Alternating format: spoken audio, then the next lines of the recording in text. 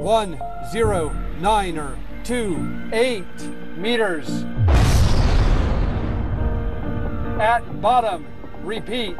At bottom. At the bottom? Yep. Have you ever considered the fascinating links between the deepest parts of space and the most hidden corners of our oceans? Both are dark, inhospitable realms where human life can't survive unprotected, where the crushing pressures alone can be fatal. Gravity behaves differently in each place, giving explorers a sense of weightlessness or buoyancy, assuming they can withstand these environments at all. And both remain shrouded in mystery, with our oceans housing countless undiscovered forms of life, while space holds secrets that are still far beyond our understanding. It was intriguing to learn that NASA, an agency devoted to the exploration of outer space, has also directed its focus to the unexplored depths of our oceans. Why would NASA explore the ocean at all? Get ready to dive into an astonishing journey through NASA's undersea facilities, strange marine life, and an environment so harsh that we've mapped more of Mars than the ocean floor of our own planet. In 1957, a year before NASA's founding, an article in the Journal of the Royal Society of Arts noted that the deep oceans cover over two-thirds of the surface of the world, and yet more is known about the shape of the surface of the moon than is known about that of the bottom of the ocean. Before advanced sonar technology, we had very little knowledge of what lay beneath the sea's surface. While we've made remarkable advances, mapping 23.4% of the ocean floor at high resolution, vast portions still remain a mystery, despite being larger than the surface area of Mars. NASA's purpose since its inception in 1958 was clear. Expand humanity's knowledge of phenomena in the atmosphere and outer space, and create the vehicles and technologies to get there. Exploring Earth's oceans wasn't initially part of its mission.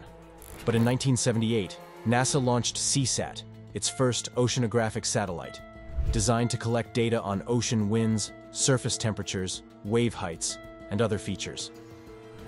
This initiative helped scientists understand our planet's oceans and their impact on global climate. However, NASA's deeper ventures into ocean exploration truly began in the early 2000s. One unique connection between ocean depths and space is in astronaut training. About 8.7 kilometers off the coast of Key Largo, Florida, sits Aquarius Reef Base, the world's only undersea research laboratory. Built in 1986, this compact three-room habitat can accommodate up to six people and provide scientists, or aquanauts, the chance to live underwater for extended periods through saturation diving, a technique that enables prolonged dives by acclimating the human body to the depth's pressure. In 2001, NASA recognized Aquarius's potential as a space training site, the cramped quarters and isolation of the base provided an ideal simulation of the conditions astronauts experience on the International Space Station, ISS. This led to the creation of the NEEMO, NASA Extreme Environment Mission Operations Program, which has since hosted 23 missions with crews from various space agencies. For up to three weeks, astronauts would live as aquanauts, practicing experiments, adjusting to life in confined quarters, and even conducting underwater spacewalks in bulky diving suits to simulate the conditions of a real spacewalk. This immersive training was invaluable for preparing astronauts for missions to the Moon and Mars. But NASA's use of the ocean goes beyond human training. Some of the most significant oceanic research prepares not astronauts, but the machines that will one day explore the vast oceans of other planets. The parallels between the depths of our oceans and the challenges of deep space provide a unique testing ground for the technology that could one day explore alien seas, the largest oceans outside Earth. Now let's take a deeper dive into the mysteries of alien oceans. Our solar system is home to some truly massive bodies of water beyond Earth. Take, for example, Jupiter's moon Europa and Saturn's moon Enceladus. Both of these icy moons are believed to have vast oceans beneath their thick frozen shells, reaching depths that dwarf even Earth's mightiest seas. Although Europa is only a quarter of Earth's diameter, scientists estimate that it holds twice as much water as all of Earth's oceans combined. This fact alone is compelling, especially given that these oceans are shrouded in perpetual darkness. Yet, with a rocky seabed beneath, the conditions may well support life, making them some of the most intriguing locations in the search for extraterrestrial organisms. NASA and other space agencies are strategizing on how to investigate these alien seas for signs of life. In 2024, NASA will launch the Europa Clipper mission, designed to perform detailed flybys of Europa to measure the thickness of its icy crust, analyze the composition of its ocean, and gather vital information about the moon's potential to host life. This mission is only a first step, a precursor to more ambitious plans that could involve deploying cryobots, robots equipped with nuclear-powered radiators designed to melt through the approximately 10-kilometer thick ice layer. These cryobots could descend into Europa's ocean to explore it directly, revealing for the first time what might live in its inky depths. Due to Europa's thick ice, however, radio signals won't be able to travel directly to the surface. Instead, these robots would relay messages up a cable system brought along with the probe, meaning they would also need the autonomy to navigate, sample, and adapt to the unknown conditions of these high-pressure environments. This vision for exploring alien oceans brings us back to our own largely unexplored oceans. Here on Earth, the deepest oceanic point, the Mariana Trench, reaches 11 kilometers. Interestingly, due to Europa's weaker gravity, the hydrostatic pressures in its oceans may be more similar to Earth's than one might expect. Estimates suggest that Europa's ocean pressure lies between 130 and 260 megapascals, comparable to depths of about 13 to 26 kilometers on Earth. It's a formidable environment, but within the reach of today's extreme engineering. Our own deep seas offer a glimpse of the resilience of life in such conditions. For instance, in 1977, the Galapagos Hydrothermal Expedition discovered something remarkable. Using a reinforced remotely operated vehicle, ROV, to withstand extreme pressures, researchers were amazed to find thriving ecosystems surrounding hydrothermal vents on the ocean floor. They encountered tube worms, crabs, fish, and entire communities flourishing in an environment previously assumed to be barren. These discoveries highlighted the astonishing adaptability of life to the most inhospitable places on Earth and hinted at what might be possible on Europa or Enceladus. With NASA on the verge of launching missions aimed at exploring the deepest waters in search of previously unseen forms of life, what better way to prepare than by continuing to explore the mysterious depths of our own planet? As scientists delve deeper into the ocean, they uncovered a host of bizarre and unexpected life forms, adapted to survive in conditions that seem uninhabitable. There were shrimp-like amphipods the size of a human hand, and ghostly, big-fin squid, stretching up to 8 meters long, their tentacles drifting through the water like something out of science fiction. These discoveries were made in the Hadal Zone, a region of the ocean between 6,000 and 11,000 meters deep, named after Hades, the god of the underworld. In this forbidding darkness, life has evolved remarkable adaptations, thriving in ways no one could have anticipated. This resilience offers scientists clues to how life might survive on other planets and moons under equally harsh conditions. The ocean's deepest areas are primarily located near the fault lines of tectonic plates, where one plate slips beneath another, forming deep trenches. These trenches create unique V-shaped channels that trap organic debris from the ocean above, accumulating it into nutrient-rich sludge. When a dead creature drifts down into these trenches, Hadal Zone organisms somehow detect it within minutes and rapidly converge to feed. Other creatures in these depths rely on the energy and nutrients emitted from hydrothermal vents, a source of life in otherwise pitch-black surroundings. If we were to map out all of these trenches together, they would form an area roughly the size of Australia, a vast hidden continent beneath the waves, still largely unexplored. NASA envisions exploring these remote trenches using advanced autonomous drones, potentially deploying entire swarms of them to locate thermal vents and map the landscape. These drones would be equipped with onboard AI, similar to that used by the Mars Perseverance rover, allowing them to navigate rugged terrain and seek out areas of scientific interest. But the task is daunting.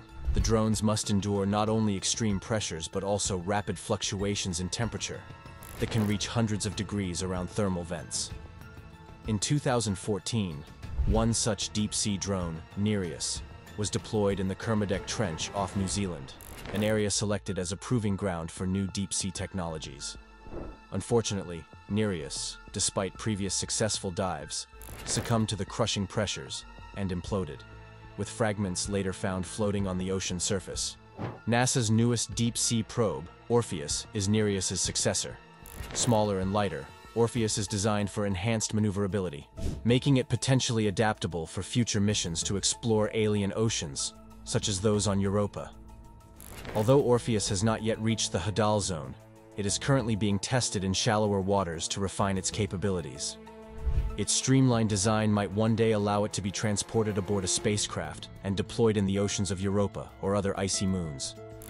This prospect is closer than we might think. In 2023, NASA's Planetary Exploration Science Technology Office, PESTO, convened a team of 40 leading researchers at the California Institute of Technology to assess the feasibility of sending a robotic mission to one of these extraterrestrial oceans. Their conclusion? The mission is feasible, scientifically compelling, and the most plausible near-term way to search for life directly in an alien ocean. With Europa Clipper gathering crucial information about Europa's ocean and experimental work on autonomous submarines like Orpheus progressing, it's becoming more conceivable that we may see an ocean exploration mission within our lifetime. If a human-made drone ever glides through the dark seas of an alien world, what might it find? In a way, it may look eerily familiar. After all, we too are creatures of the water, with our earliest ancestors originating in Earth's primordial seas. When the day arrives, and a robotic explorer ventures into Europa's hidden ocean, it won't just be a journey across space, but a journey back to where complex life began, within the nurturing embrace of liquid water. Several private underwater vehicles are making significant contributions to deep-sea exploration, aiming to expand our understanding of the ocean's most inaccessible depths. These vehicles vary from autonomous underwater vehicles, AUVs, to remotely operated vehicles, ROVs, and they have been essential in uncovering new marine ecosystems, species, and geological formations. Abyssa's AUV fleet. The French company Abyssa has developed advanced AUVs capable of reaching depths of up to 6,000 meters. These vehicles are specially designed for high-resolution mapping, locating, and surveying deep-sea environments. Recent campaigns by Abyssa have explored hydrothermal vents and mapped oceanic canyons, focusing on ecological protection and sustainability.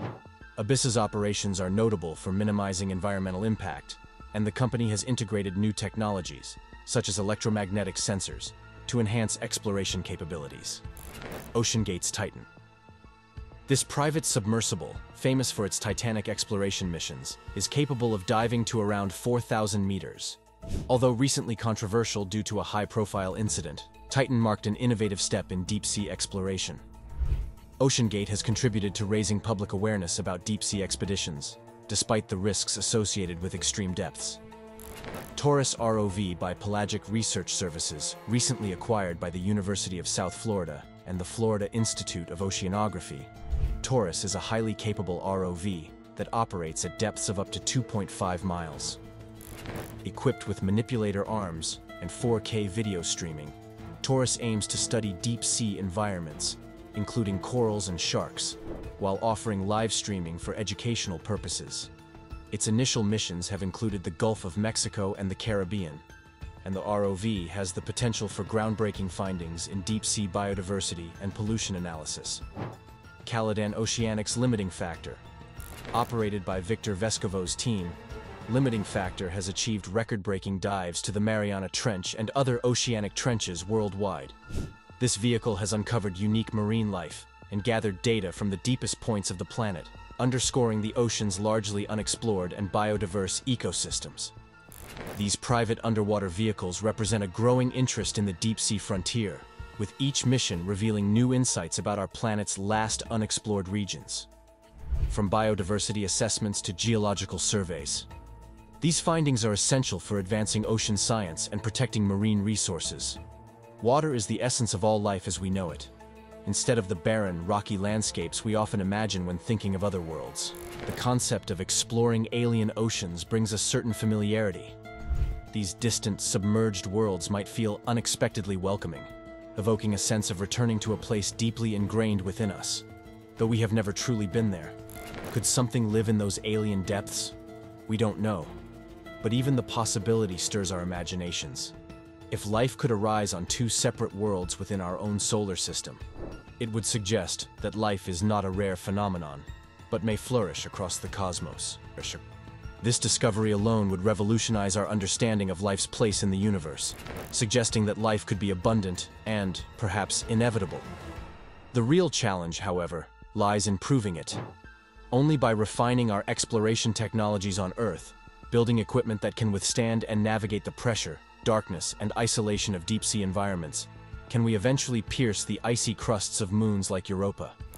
This is how we'll begin to unlock their inky hidden oceans and uncover whatever secrets they may hold. For NASA, the quest to find extraterrestrial life doesn't start millions of miles away. It begins here, in our own oceans. By perfecting our methods in the extreme depths of Earth's seas, we set the stage for a monumental journey. One that might one day reveal, beneath an alien sea, life that is truly otherworldly. As we've seen, the mysteries hidden beneath our oceans may hold clues not only to the origins of life on our own planet, but also to the potential for life in oceans beyond Earth. From studying hydrothermal vents to experimenting with autonomous technology like deep-sea drones, each mission brings us one step closer to unveiling secrets that could shape our understanding of the cosmos. If you enjoyed diving into the unknown with us, don't forget to like, subscribe, and hit the notification bell to stay updated on the latest discoveries. And let us know in the comments. What do you think NASA will find next in these uncharted depths? Will it be the evidence of life, strange geological formations, or something entirely unexpected? Until next time, keep exploring the vast and mysterious realms around and beneath us.